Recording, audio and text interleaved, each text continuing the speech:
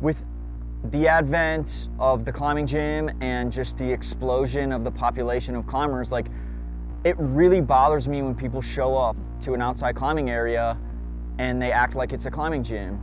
There are too many climbers coming outside for the baseline understanding to be so low. You know, there's multiple generations of climbers at this point who have absolutely zero idea about how a outside rock climb gets established, a, a, a route. And that's a problem to me. That's a huge problem to me.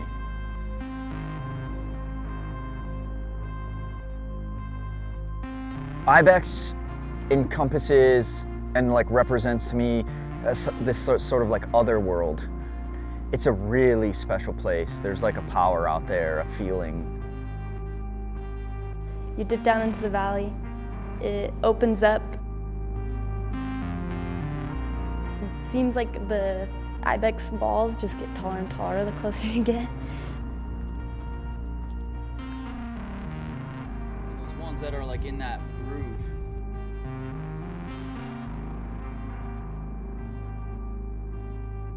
Do these ever get like worn down or rusted? Yeah, I mean nothing lasts forever.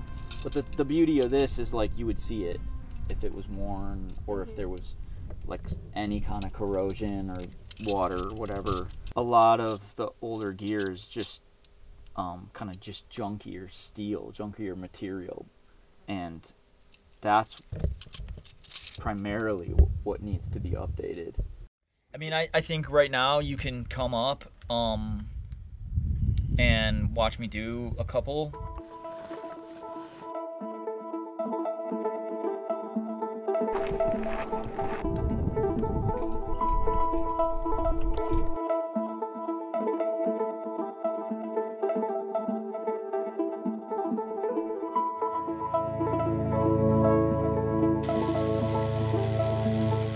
I got into climbing through my parents when I was about like six years old, five years old. They like would just take me out to uh, American Fork Canyon. When did you turn seven? And then my parents put me in the, the climbing team when I was like 10 years old, and I've just been competing since then. I mostly train and climb indoors, but I try to get outside a lot because I love it. really cool to connect with somebody who's basically been climbing since they were a little kid.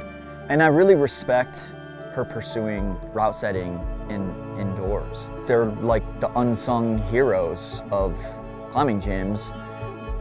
It's kind of like has this parallel to bolting outside. You rarely see people bolting, um, the bolters of the routes that you're climbing on. And so it was just fun to ask her if she had any interest of you know, coming out with us and, and her being psyched on it. Like the sound the drill makes and just how the vibration feels. Am I holding it still enough? I lowered you down a little bit more than you needed to be. If you were higher, you'd get more leverage. You're kind of doing yeah. this right now. Look at that. Oh, cool. oh my God, that's sick.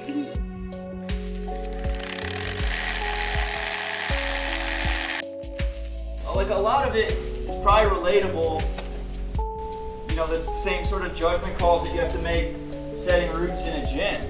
I mean, this rock is all really good too, but some like limestone or maple, like we were talking on the way down, like you have to tap. If you were like bolting a crack, like what if that was like gonna be like a foothold that you would use on the roof? Yeah, I mean, you definitely want to try to stay away from anything that could be used as a hole.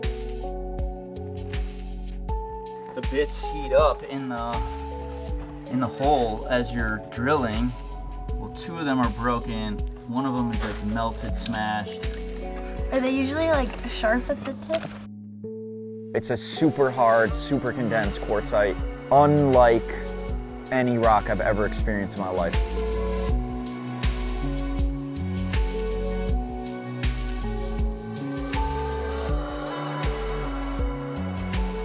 Now they're all stainless steel glue ins straightened out the line of the climb a little bit so that like the rope runs better.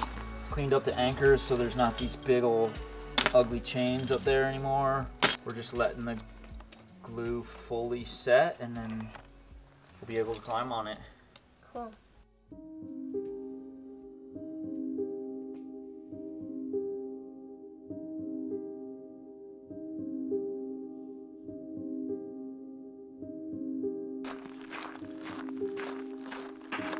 So I've been coming out here since 1997. Ibex remains one of my favorite places. Is there service out here? It's quiet, it's open and expansive. It's like a, it's like a cleanse coming from the city. This place has world-class bouldering, sport climbing of all different grades, and multi-pitch climbing. And it's all remote. It's all out in the middle of nowhere.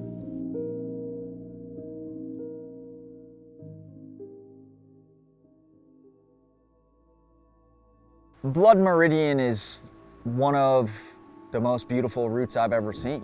As good as rock gets and as beautiful as it gets, I, I think.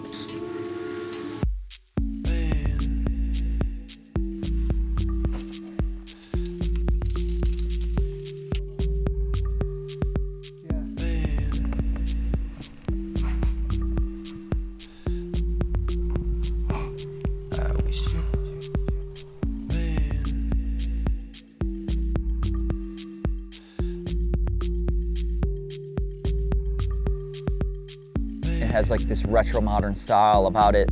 Starts with like overhanging, you know, modern kind of climbing, bigger moves, bigger holds, and then the cruxes are at like three quarter height and they're full slab cruxes. Like something out of like a modern day comp.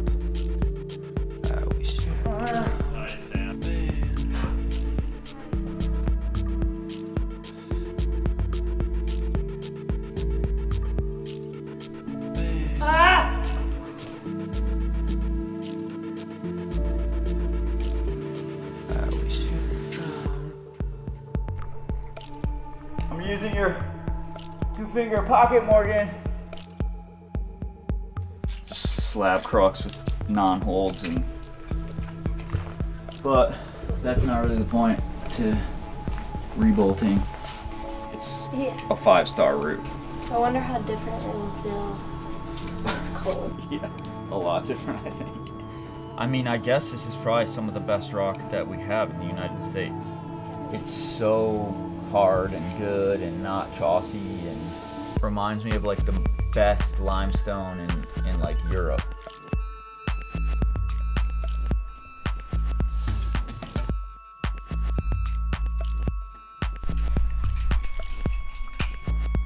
a lot of the like styles from the climbing gym and from like indoor boulders definitely translated to the cruxes of that route.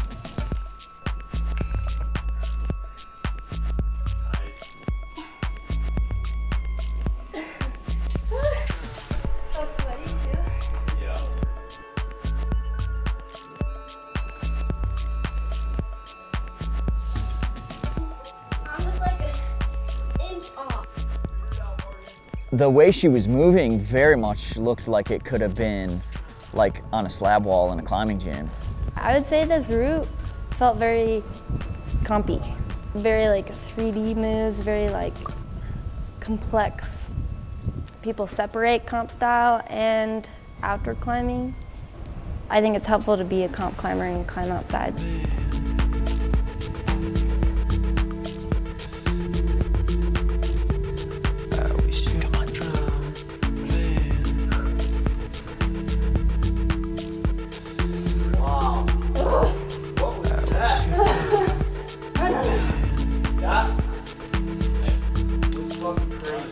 She definitely sort of like lit up when she discovered her own way and connected it to like gym climbing.